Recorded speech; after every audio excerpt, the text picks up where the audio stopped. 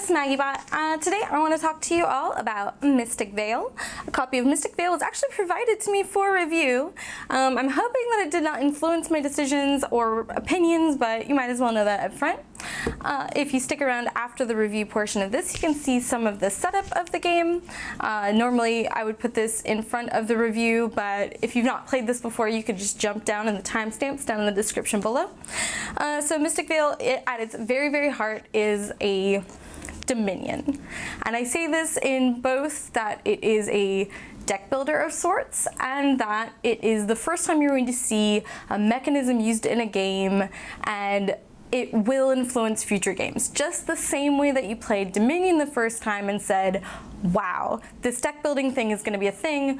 Wow, this card drafting thing could be a thing. So Mystic Vale is two to four players. It's about 45 to 60 minutes, I'd say, once you know it. I want to say the teaching games go a little bit long, and that is because the game itself, um, everyone's going to have a deck of cards that are sleeved, and what you do is you purchase clear overlays that go into the card to affect its stats as you go, and that's why it's called a card crafting system. Um, so whatever you can see is the new uh, abilities of the card. It's not like Gloom, you don't actually usually cover anything. There's only one aspect of this game that is covered, but um, it does involve all these cute little clear overlays. So, what of that? Um, the cards themselves, the decks, they come with sleeves. They are really heavy duty um, tarot size sleeves. AEG provides 100 of them in the box. There's only 80 cards to sleeve. So it's a pretty pretty good deal, especially now, right now, Fantasy Flight Tarot sleeves are out of stock, so you'd have to get Ultra Pro or Mayday. Um, the sleeves themselves are that really nice, thick, premium stock. It feels just like a premium Mayday sleeve, like no joke. It doesn't quite feel like Fantasy Flight because the edges are different, but it feels just, just like the premium Maydays. It's a really good quality sleeve. Um, you are shuffling the deck a lot, so over time you would probably have to purchase another pack of sleeves. But if you're playing a game so much that you need to buy sleeves for it, I never think that that's a bad thing. Um, the amount of money you can spend schnazzing up a, a, a card or board game, uh, a pack of sleeves is usually well worth your investment. Um, the overlays themselves are uh, thin plastic and um, they're during the, the machining process for these, they figured out that they needed um, a small coating of like a plastic, kind of like you'd see on a brand new cell phone. Um, and so the first few times you play, you probably just leave that plastic on these. And then eventually, and I don't know if you could see it on camera, but this one was starting to peel away. So you can just peel the rest of the advancement like that, and then you have your card. Um, I don't think there's going to be a huge problem with the scratching. Uh, Gloom, if you've ever played a lot of Gloom, you notice that the scratching could make the cards illegible. I haven't had any trouble with scratching over the parts with writing. You can definitely see it, see it on the clear parts. I can even see it on this one, and this copy's only been played five or six times, but I don't think it's going to be overall very big deal. Um, the cards uh, are pretty easy to read once they're on a table in really good lighting. They did take some they, they have a bit of text on them. So this is not language independent unless you have someone that's good at uh, constantly reading cards out to people. So this is very English dependent at this point. Um, the, the writing is pretty small, but what would have needed to happen if the writing was any bigger, these cards would have had to been like bigger than Dixit cards. So right now you just have a nice tarot size card that gets up to three advancements on it that sometimes have writing. So that could be a downside to this game. You need good lighting, you need to be able to read, uh, and you need to know English at this point. Uh, so that should be noted. Um, otherwise, everything feels very nice. The card quality is really nice. Um, the veils themselves are on the same size cards, so if you like the aesthetics of sleeving, you could sleeve these. Um, there's no real need to. They don't get shuffled. They just sit on a table and then sit on the table on your side once you have them. So you shouldn't need to. Um, the art in this game, although I'm not super arty, is really beautiful. It really, um, the cover is a good example of the type of art you're going to find in it. Very nature heavy because it's all druids, right? And um, beautiful and green and blue, which is totally in my aesthetic. So I really love the art and the characters. Um, the characters are not super diverse as far as I've been able to tell, um, but there are lots of women, so that's a very nice thing. You just don't, you have kind of one skin tone on all the people. That's fine. Um, I would always encourage and love to see more diversity put into skin tones, body types, but what are you gonna do? Um, there is one major concern in this game from um, a lot of perspectives. It's, it's important to note um, if you have put advancements onto a card, it starts to feel thicker than the other cards. You can actually tell that it's been edited, it's not quite as floppy, and it feels heavier. So if you've ever done anything that requires precision in picking things up at all, like food service or any type of factory work, um, you're going to be able to immediately tell that a card is edited before you've looked at the front. This shouldn't matter in this game because there is a press your luck element you're looking at a card at the top and you know I'm going to move this card to reveal the next card. So you shouldn't have felt the card below it before you do that. So you shouldn't be able to use that to your advantage.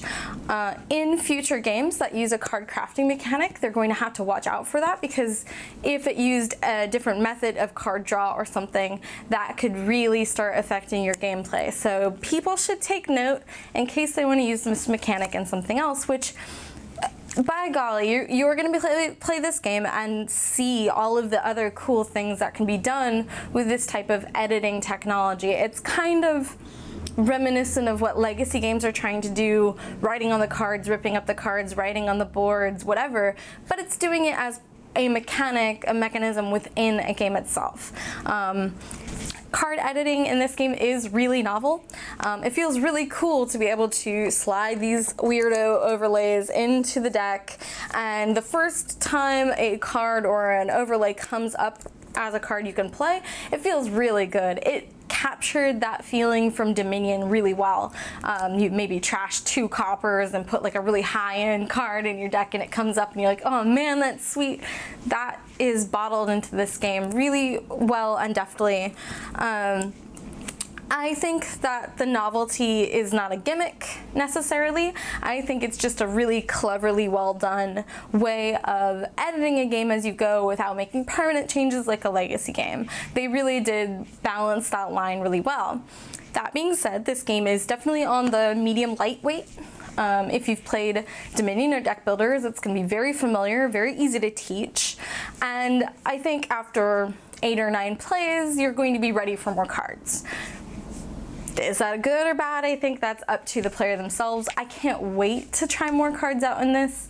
Um, there is definitely a point where you've played four or five games and when you teach, you crush people. So you're gonna wanna maybe just teach people and let them play with other people who haven't played before. Um, experienced deck builders are deck building players are gonna do better in this game than people who haven't played a deck builder. But at this point, I would be very surprised if there are a lot of players who haven't tried at least one. Um, it is more fun. The setup is kind of silly because it's kind of hard to shuffle all these types of clear cards and stuff.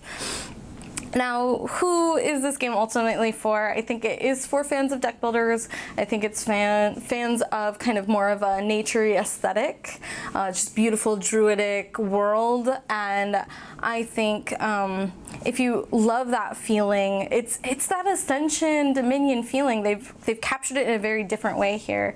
Uh, made me really happy to play it because Dominion was never really my jam, but I loved Ascension.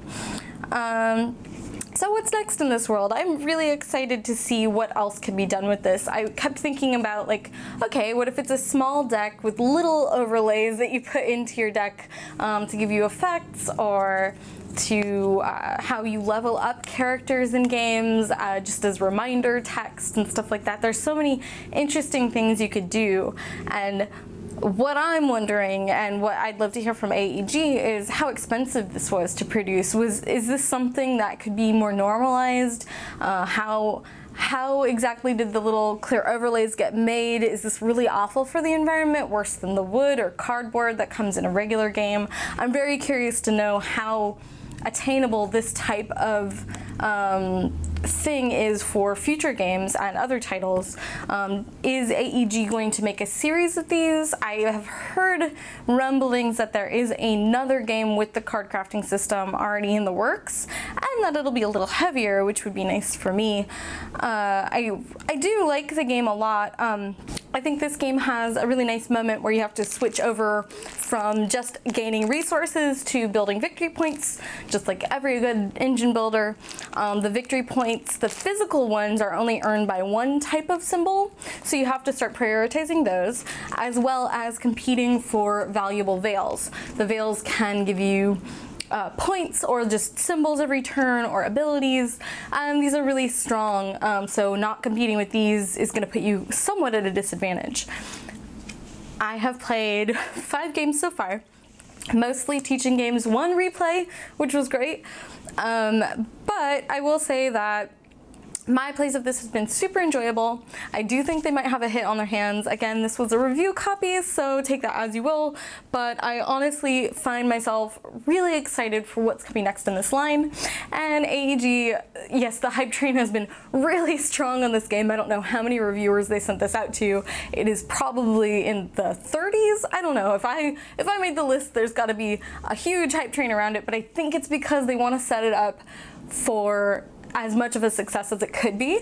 And I think that they ordered a crap ton of it because wow, have they done a good job of making people interested, but it's also getting to the point where the, the hobby gamers, the niche gamers are going, yeah, well, gimmick, gimmick, gimmick. I'm like, yeah, well, gimmick, but fun, novel, yeah? Okay, no? Okay. So overall for me, um, I really enjoyed it and will encourage people to play it with me. I'm going to take it to Game Swap tomorrow and try and get a game of it going. And I will see y'all next time. So unlike what I normally do in a full vlog, I'm actually going to show you a little bit of the layout and some of the card structure on in the, the game. Um, so Mystic Vale is two to four players. The player count is going to affect a couple of different things. It's going to affect your level one advancements as well as the number of victory points it takes until you trigger the end of the game. Uh, this is your basic set out. Um, you will also have a number of victory points that you put onto the board. Depending on the number of players, this works just like Race for the Galaxy, where as you uh, collect your 28th point, or anyone depletes the point bank, that's going to trigger the end of the game. You're going to go until everyone has equal amounts of turns, and then the game will be over. So as you can see, there are several sets of cards. There are regular opaque cards. These work just like the cards in Valeria Card Kingdoms or an enchantment in Magic. These you purchase and then they give you a permanent effect. Um, there are both level ones as well as level twos, and they're, the level twos are just generally more expensive and good than the level ones. Um, then you have three different levels of advancement cards. Advancements are those clear overlays that you're going to use in your deck. Um, the level threes are the 8 to 10 cost ones. The level twos, which I have a couple upside down here, are the 4 or 5 to 7 cost, and the level ones are 2 to 4 cost. You have three of them per level. If ever you run out of level 1s, you will replace them with level 2s. You will always have 9 advancements to choose from. And you have some fertile soils up at the top. These are just like the basic coppers almost in um, Dominion, and you're going to want to put these out at the top and these will get you um, just something you can purchase if you don't have something better in that round. Um, because this is kind of a game that's not out yet, I figured I'd do a little bit more of a rules overview than I normally would, or here is the setup, and then we'll go into some impressions. Step two, after you set it up, let's talk about the player decks. So the player decks come in four different colors on the back, but they're all identical in the front. And they are comprised of cursed lands um, like this, where they have one of these red spoil symbols and a white mana, blank cards, and fertile soils, which will just give you one generic mana. Um, there are nine cursed lands in the deck, which is really important to know during the course of the game. So, uh, the whole point of this game and why it's different and why I'm doing the preview and why you're curious about it is that during the course of the game, it works just like a regular deck builder where you have a certain amount of buys and sells, um, but you are purchasing clear overlay cards like this and those clear overlays get added to cards can't do it shaking on camera. They get added to cards like this.